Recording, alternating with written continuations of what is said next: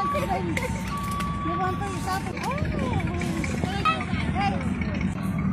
want to take a picture with the kids before you?